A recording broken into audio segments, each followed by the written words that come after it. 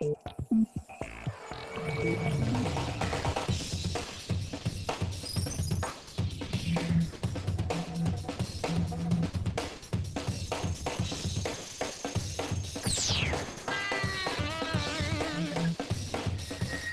Hi, I'm Corey Nachreiner, CISSP and Director of Security Strategy for WatchGuard, and you're watching this week's WatchGuard Security Week in Review, a video podcast dedicated to quickly summarizing the biggest security stories every week. Let's jump right in for the week starting February 6th. So this was a very busy week for security stories with many, many stories about big breaches and patch software and so on. So let's just jump in with the, one of the first big anonymous breaches for this week. Early in the week, we learned that Anonymous was actually able to intercept a telephone conference between the FBI and the Scotland Yard. Uh, as it turns out, uh, Anonymous first figured out how to actually intercept an email between these two organizations. And like many teleconference calls, they have email systems that send information about how to join the call and what passcode to use. Once Anonymous intercepted this email, they were able to then join that conference call and listen in. And this was a pretty sensitive call where the FBI and the Scotland Yard shared information about how they were tracking various anonymous, or more specifically, LulzSec members and how their prosecution was going. So it shows how easy it is for bad guys like hacktivist group like Anonymous to intercept emails. The moral of this story is we really should leverage email encryption much more often than we do. Emails sent in the clear text across the internet very, very often. I mean, most of email is in clear text.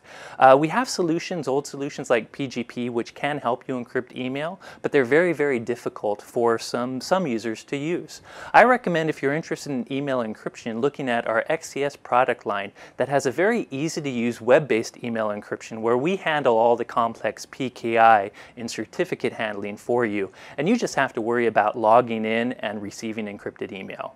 Anonymous didn't stop this week at intercepting FBI calls, but we also learned that they were able to breach the email server used by Syria's president, uh, Bashir al-Assad. Once they breached the server, they were able to steal a bunch of emails, which they then disclosed publicly, and they also learned the Syrian president's password, which was 12345. And of course, this is a very horrible common password that many people use. And the tip to you is you should definitely follow strong password practices. A lot of the, the most common breaches are simply uh, due to sim people using silly, silly passwords. I have many posts on the WatchGuard security talking about the best password security practices, so definitely check them out and follow them. Another story this week is Symantec's PC Anywhere source code was finally publicly released. Uh, a group called uh, LOD, uh, the Lords of the Dharmaraja, I think I'm pronouncing that right. Anyways, LOD is an Indian-based hacking group loosely affiliated with Anonymous. And if you followed our weekly posts, a few weeks back, uh, had warned that PC Anywhere, it was dangerous to use that product because some attackers had that code and may be exploiting vulnerabilities they have found due to having the source code.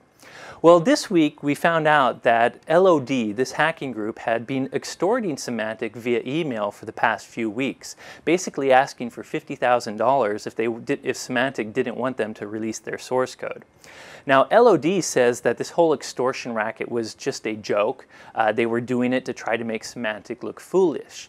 Meanwhile, Symantec, who seemed to be responding to these extortion emails, they said they weren't serious about paying LOD any money. They were just acting, uh, actually working in cooperation, cooperation with a U.S. Uh, law enforcement agency to try to investigate this particular breach.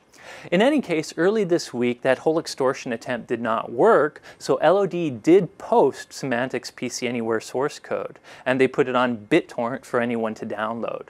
So if you do use PC Anywhere, though uh, Symantec does say the latest revision should be safe and is not the same code that's posted, I would be very, very suspicious of my PC Anywhere software, and perhaps I would use my firewall policies to prevent uh, most users from accessing PC Anywhere and only allow it from particular users.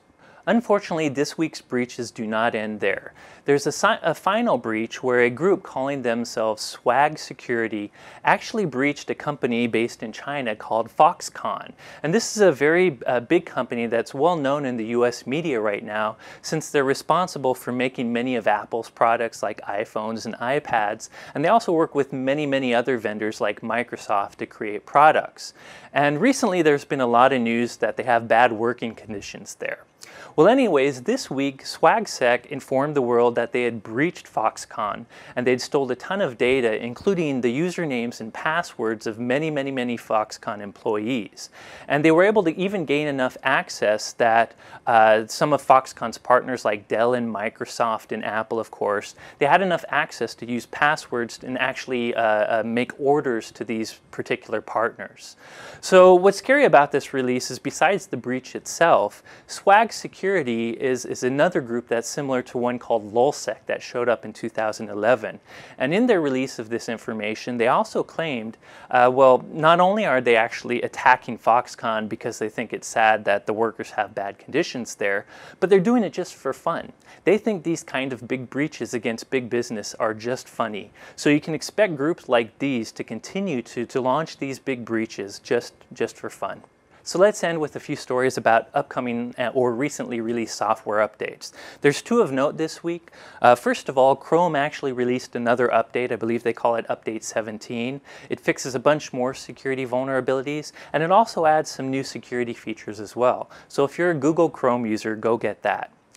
Also, Microsoft released their advanced notification uh, for their patch day for February. Uh, their patches won't come out till next Tuesday, but they have said they're going to release nine different bulletins, and these bulletins will fix uh, vulnerabilities in Microsoft Windows, Internet Explorer, Office, and some of their development frameworks like .NET and, and, and uh, Silverlight.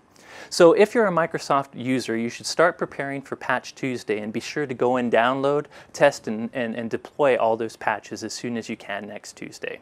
So that's it for this week's Security Week in Review. And as usual, I'll post links to all these stories in our WatchGuard Security Center post. If you'd like more regular stories, I recommend you follow me on Twitter at SecAdept or continue to follow our WatchGuard Security Center blog where we'll post more regular stories. So thanks for watching and at WatchGuard, we're rooting for you.